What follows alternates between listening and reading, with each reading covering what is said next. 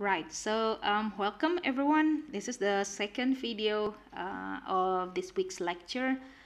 Uh, the second week, yeah, the second week's culture uh, lecture, and I'm going to discuss about personality assessment. Yeah, this is very interesting, and I'm very passionate on on this topic because I myself, I'm a researcher uh, myself, and I use personality tests uh, regularly in my research, and I'm trying to connect uh, I'm trying to seek for a connection between certain personality uh, characteristic with many psychological outcomes, such as whether personality would explain how people vote, yeah, how people vote politically, and how would they, whether they would take vaccine, yeah, how, how it corresponds to person uh, to human personality.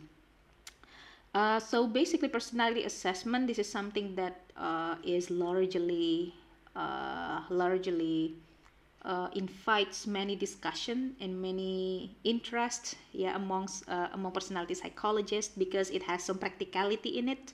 It offers the way yeah a way to better understand our personality yeah. But again uh, even though it's a ma- it, it has major implication uh, practically but there are lots of things that we need to consider yeah. We need to consider when we're uh, trying to use when we try to use personality uh, tests as our uh, as our uh, mode of uh, of knowing yeah of knowing our personality better yeah?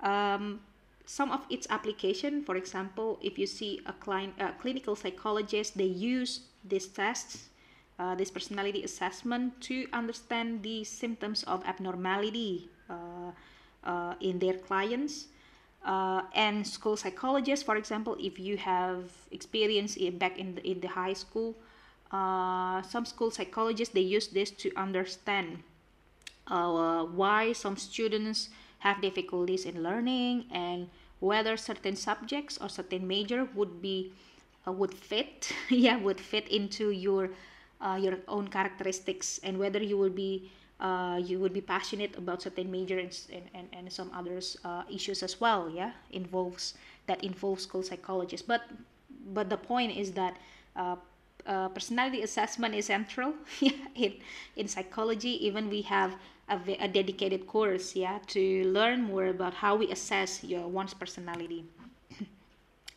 And counseling psychologists they use that to uh, to help the their client yeah to help their client to pick the best job that is suitable with their own characteristics. And some research psychologists like myself, well, I'm not psychologist per se because I don't have license to practice as a, as a psychologist, but yes, I do research in psychology uh, very often, and I use personality assessment as an attempt to account for my be- uh, uh of my, my, my, my samples behavior, my participants' behavior in some experiments or some surveys uh, and we try to seek correlation and we try to look for explanation whether uh, one's personality could explain why people behave in different ways. Yeah so we use that for measuring uh, for measurement as a as a measurement instrument uh, in our research. And this is very important yeah so you don't fall into the trap of fake personality tests or pseudoscience personality tests there are two criteria in general how we should say that one personality test is a good enough yeah to to explain our personality. The first one would be whether those assessments or whether those instruments are reliable yeah. It means that assuming that there is no change about your behavior they would give you consistent result. Because if they don't give you consistent result then which result should you trust yeah it's simply because it when it it, it gives you consistent result assuming that there is no change in your real behavior or in your, in your real personality they would give you consistent result which means that they are reliable. And the, the second one is validity yeah. Psychological constructs are among the difficult to measure yeah, among very among uh, the, the the ones that are very difficult to measure. Simply because the nature of psychological construct it is un, it's, it is very difficult to directly observe yeah directly observe psychological uh, constructs such as personality you could not directly observe personality it does not have any form you cannot smell it you cannot even hear one's personality So the one thing is that it is not directly measurable. Yeah. And psychologists are very creative. They find ways to measure the unmeasurable. yeah. So we have many ways to measure these very fact realities.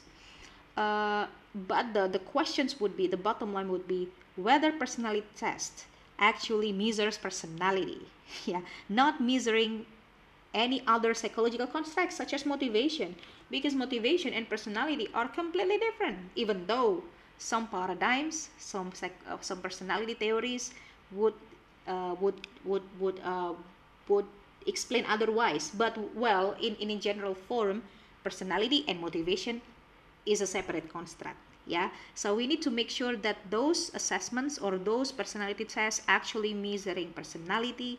They don't measure any other constructs that are not personality yeah? So this is a very difficult uh, very difficult uh, questions to to answer because we have a very dedicated uh, one dedicated course to uh, to, to to to reveal yeah to, to study about those uh, about these uh, aspects uh, and and that is psychometric yeah so we learn how to measure psychological constructs. So but these two uh, uh, aspects would determine uh, the the performance of certain psychological tests. And we don't have one ways yeah because we are very creative. Psychologists are very creative. We don't have one particular way to uh, to measure personality we have many ways yeah many ways to to uh, to measure personality. And it could vary. It could vary uh, in objectivity in reliability in validity. So not all psychological uh, personality tests are valid. They are not always reliable yeah.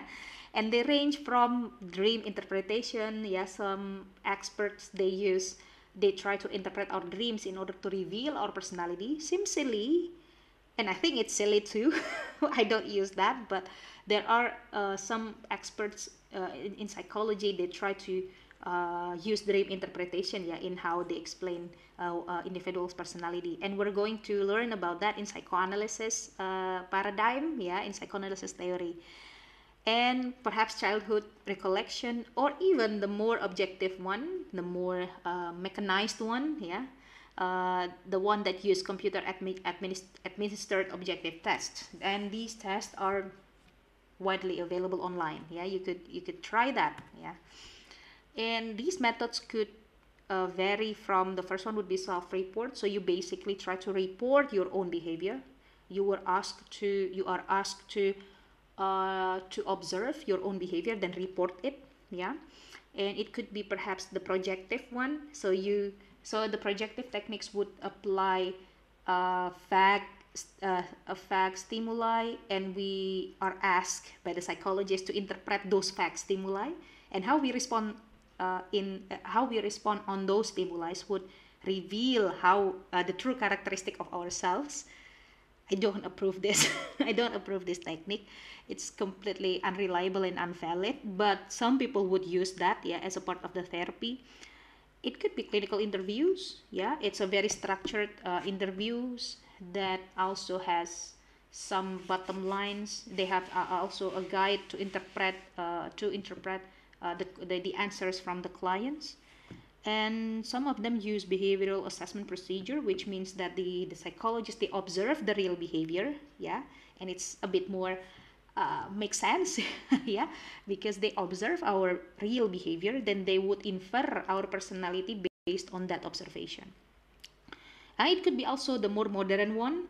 Uh, we uh, uh, some research psychologists they use experience sampling procedure, which means that um, they took uh, they take data from us regularly every day, and then they would uh, see the pattern, see the pattern, see certain pattern from our reports, from our everyday reports in in certain period of time. So, for example uh, research psychologists would ask you to fill several questions that you need to answer every day in one week, for example. And then they will infer your characteristic based on the data that you give them during that one week period. Yeah, so this is a very popular technique, and I be, I think it's more modern than uh, than projective technique. Yeah. And the questions that we're going to discuss in the Google on the Google Classroom would be: Have you ever take any personality test? and can you describe how it how it looked like? And do you think it's helpful to understand your personality by doing by taking that test? Yeah we're going to discuss this later in uh, uh, on google classroom. And before that if you never uh, actually take any just just um just for uh, precaution so if you have if you never take any personality test there are lots of um uh, there not lots of there are a few of options that you that you uh, that you could try uh, that you could try yeah to um, so that you have an experience in taking in in using the personality test. The first one would be the five factor model. We're going to discuss this uh, deeper uh, in this course or the MMPI the Minnesota Multiphasic Personality Inventory but this is very long and it could take like uh, more than one hour to to complete this personality assessment so I don't really recommend that uh, I would recommend my I personally would recommend the the Big Five inventory and also the Hexaco personality inventory because it fulfills it fulfills that two criteria, the validity and reliability. And this one is the very popular one, the MBTI. it is very popular, but I believe that this is a, a, a part of the pseudoscience. Yeah, so uh, MBTI itself, the theory behind the MBTI itself, the Jung, the Jung uh, psychological theory is not really correspond to realities. So that's the first. And the second would be these um, measurement tests uh, these uh, personality tests they don't they are not uh, it is not valid nor reliable. Yeah so it it basically violates those two criteria yeah so it is not valid not reliable so why would you bother to take MBTI despite the popularity but in fact it is completely uh, controversial, yeah, controversial amongst uh, personality psychologists. We don't use MBTI uh, now because, of course, it's not valid, it's not reliable. So what's the point of using this test? um, okay, so this projective technique, I believe that some of you might have been familiar with this technique. So this is the ink blot test uh, from Rorschach. So basically, you will be presented several uh, facts, stimuli, fact, uh, unclear or ambiguous yeah ambiguous uh, drawings from ink blot yeah and the psychologist would ask you to interpret what it means and what what what what drawing is that what picture is that and they will ask you to describe uh, a bit more deeply about about those interpretation. Again i strongly against this technique even though it's some some some of it might be useful in a clinical setting. Uh, it is quite helpful for some therapists as a as a tool to help them understand to better understand their client. But again for a widely use i'm completely against this because again we could not ensure its reliability and also their validity. Yeah?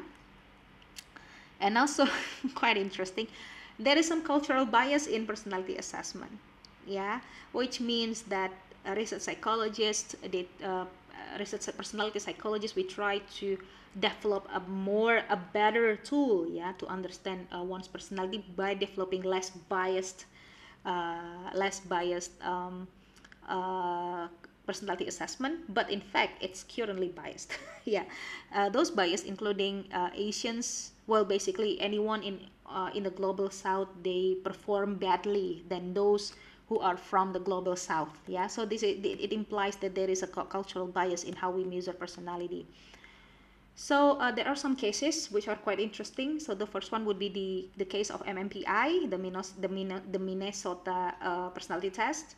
When it was first introduced in Israel, many people would find it quite difficult yeah, to complete this test because they are unfamiliar with the true-false format. Because uh, this test basically you were you will be presented with presented with uh, lots of statements about yourself, and then you should indicate whether it is true represent whether these statements are uh, true uh, represent yourself or it's not a representation of yourself and people in israel they don't really they don't uh, get used with they, they don't they are not used with um, with the, those kinds of formats yeah?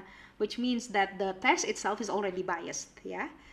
And also the translator of the us personality test uh, for use in the other culture um, when we try to translate yeah, those measurements in different uh, languages, we have a difficulty when translating it to other culture, to other language, because uh, some of them use uh, US slang and also colloquial expression that are not easily interpretable to other uh, to other languages. And also one projective test that we call thematic apperception test. Uh, again, the ambiguous drawings, yeah, but quite different from the from the inkblot test that I that I showed you previously. It is cannot be used in Islamic culture because some of Islamic uh, countries they prohibit it. They prohibit the use of uncovered, uh, yeah, un, un, unveiled, yeah, unveiled uh, face of woman, and in that, and also it against Islamic teachings uh, to represent humans in pictorial form. Yeah, so of course, in there is some resistance in in Islamic culture, which means that there is a cultural bias. Yeah, and some values we need to respect some values that when they don't really approve. Yeah, they don't really approve uh, some aspects of the personality measurement, which means that not every psychology, eh, not not every personality test would be easily administered, yeah, in different uh, cultures. So that would be the end of the second part of this lecture. I'm going to continue to the next part that we're going to discuss about the ongoing research in, in, in, in personality psychology.